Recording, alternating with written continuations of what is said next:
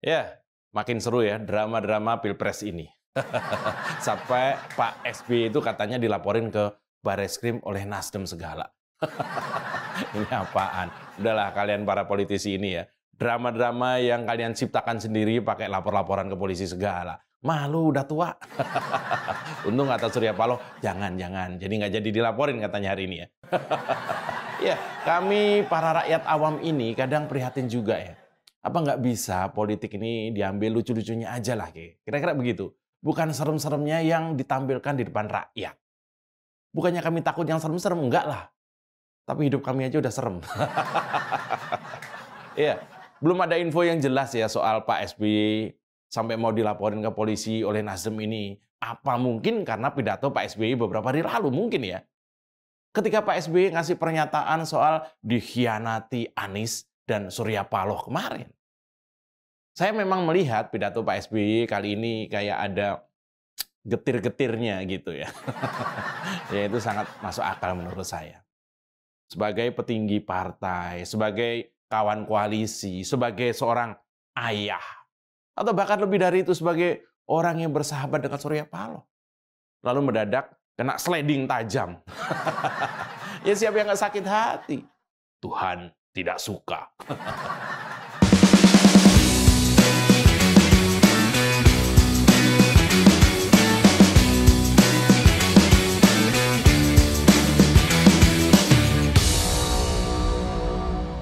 Ya, salah satu isi pidato Pak SBY kemarin adalah menyinggung soal musang berbulu domba. Jarang Pak SBY pidato membawa-bawa nama hewan loh. Itu pun hewan yang sopan musang dan domba, lucu dan imut, gemesin.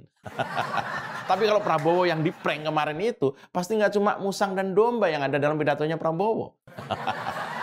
Bisa jadi dinosaurus, T-Rex, anaconda, sampai kadal Mesir di bawah-bawah tuh. ya, politik benar-benar sangat dinamis ya. Demokrat mendadak jomblo dan ogah dukung Anies yang memang dikenal nggak ada yang bisa dipegang itu. Apa yang bisa dipegang dari Anies? Omongannya aja nggak bisa dipegang, apalagi prestasinya. Lalu bagaimana dengan posisi Partai Demokrat sekarang? Ya kemarin ketika saya diundang Radio El Sinta untuk sebuah dialog, pertanyaan pendengar tuh kira-kira soal ke mana kemudian sebaiknya arah dukungan Partai Demokrat setelah dikhianati Anies dan disikat oleh Muhaimin Iskandar. Apakah akan membuat poros sendiri? Terpaksa ikut Prabowo? Atau malah rekonsiliasi, membuat hubungan baik dengan PDI Perjuangan. Ada tiga opsi lah kira-kira ya. Sampai saat ini ketiga opsi itu tentu masih mungkin menurut saya. Hanya saja saya coba bakal kupas versi saya tentunya risiko-risikonya atas ketiga pilihan itu. Misalnya nih ya, Demokrat memilih membuat kongsi baru misalnya. Bikin koalisi baru dengan partai yang beda selain Nasdem dan PKS tentunya.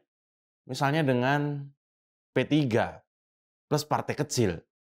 Dan tentu saja ini ada konsekuensinya. Pilihan ini ada konsekuensinya. Yang pertama, partai mana yang mau? yang kedua, siapa capres dan cawapresnya? Dan yang ketiga, yang bayar siapa? Soal duit ya. Ya kita tahu P3 itu sudah punya Sandiaga Uno untuk diorbitkan. Lalu partai mana yang masih jomblo dan belum menentukan koalisi? Mungkin tinggal tersisa partai non-parlemen lah ya, yang tidak bisa menambah syarat minimal dukungan juga. Bisa saja menarik kalau ada pasangan muda, Sandiaga dan AHY. Tapi ini nggak mudah diwujudkan menurut saya. Kenapa? Ya karena beberapa kekuatan besar itu sudah merapat di kubunya Pak Ganjar atau di kubunya Prabowo. Jadi ketiga PR ini akan menjadi halangan terbentuknya poros baru. Dan dalam politik itu selalu sama. Tiap ada poros baru pasti ada masalah baru. Yaitu tadi, partai mana yang mau gabung, siapa capres dan cawapresnya, dan duitnya dari mana. Dulu kejadian ini mirip terjadi yaitu ketika pemilu di awal reformasi. Ketika ada dua kekuatan besar waktu itu, lalu mendadak muncul Amin Rais dengan istilah poros tengahnya. Masih ingat kan? Dan masalahnya juga sama. Partai mana yang mau gabung, siapa capres cawapresnya, dan yang bayar siapa? Bingung Amin Rais. Dan poros baru atau poros tengah atau apa pun alternatif namanya, tetaplah dianggap sekumpulan atau koalisi partai yang tidak bisa menentukan mau di posisi kanan atau kiri yang sudah terbentuk duluan. Tentu karena masalah-masalah baik misalnya platform partainya yang berbeda, angka yang berbeda, padahal untuk kepentingan yang selalu sama yaitu kekuasaan. Apakah mungkin Partai Demokrat akan membuat poros baru dengan segala kondisi itu tadi? Menurut saya sih ya mungkin saja tapi kecil. Beginilah. Lalu bagaimana kalau Partai Demokrat bergabung dengan Prabowo yang otoriter itu? Ya ini juga mungkin. Tapi kalau arahnya bakal cawapres tentu ya sulit lah karena kan Muhaimin aja cuma kena PHP sama Prabowo apalagi AHY. Atau mungkin hasil ketemuan elit Gerindra dan Demokrat yang buru-buru kemarin itu menghasilkan tawaran lain. Misalnya jatah menteri di kabinet, kalau misalnya mau dukung Prabowo, atau tawaran menarik lainnya. Bisa sih itu, dan ini makin menarik menurut saya. Karena kemarin begitu Demokrat mencabut dukungan ke Anies tiba-tiba Gerindra itu udah di depan pintu. Tapi sepertinya saat ini menurut saya Pak SBY udah nggak mikirin soal wakil presiden lagi menurut saya. Tapi lebih memikirkan kepada karirnya AHY dan para caleg Demokrat. Nah waktunya sudah sempit ini. Artinya Pak SBY nggak akan buru-buru nempel ke Prabowo menurut saya. Selain karena biasanya militer itu nggak nggak kerasan kalau sama militer. militer sama sipil biasanya.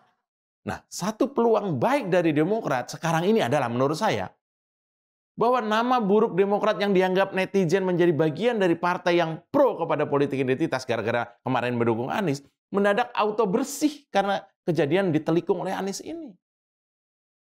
Apalagi Demokrat juga sudah menyatakan tidak mendukung Anies. Ini peluang emas buat Demokrat untuk menjadi partai tengah yang nasionalismenya menjadi jelas. Ya karena kita tahu bahwa siapa Anies dan siapa Prabowo kalau untuk urusan kedekatan mereka kepada kelompok-kelompok yang doyan politik identitas yang berbahaya itu. Apalagi kalau PKS ada di kubu mereka. ya, peluang emas berikutnya adalah dengan cabutnya Muhaimin Iskandar dari Prabowo, ini peluang Demokrat untuk bisa berjaya di Provinsi Jawa Timur. Karena tentu saja suara Prabowo akan tergerus di Jawa Timur ya. Karena pemilih jadi galau mau milih Caimin tapi kok gandengan sama Anies. ya, ya kan teman-teman NU kan susah ya bergabung sama PKS kan susah itu. nah, peluang ini bisa dimanfaatkan Demokrat kalau misalnya berkoalisi dengan PDI Perjuangan. Dan kalau Demokrat mendukung Pak Ganjar, tentu saja ini menjadi uh, perjalanan baru yang lebih positif buat Demokrat. Rekonsiliasi yang selalu didengungkan oleh Pak Jokowi akan mudah terlaksana. Pak SBY akan menjadi lebih tenang. Efek ekor jas nih buat partai dan juga caleg Demokrat juga lebih jelas. Dan tentu saja Tuhan pasti suka. Saya Mas Joprai, aman kan?